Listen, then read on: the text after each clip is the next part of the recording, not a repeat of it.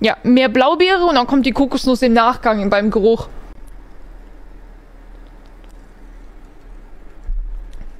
Ja, der ist geil. Ich wusste es. Ja, der, der ist mein Favorite. Der ist mein Favorite. Das ist eine echte Kokosnuss. Du schmeckst die Kokosnuss. Warte.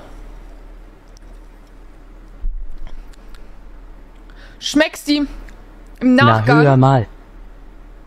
Wie beim Geruch.